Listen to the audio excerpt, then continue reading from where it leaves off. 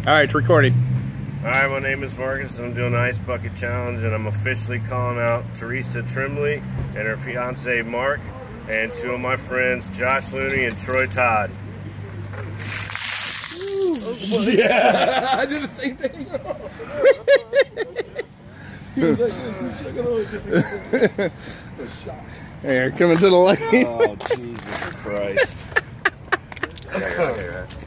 Uh, Way to work that. Did you see it?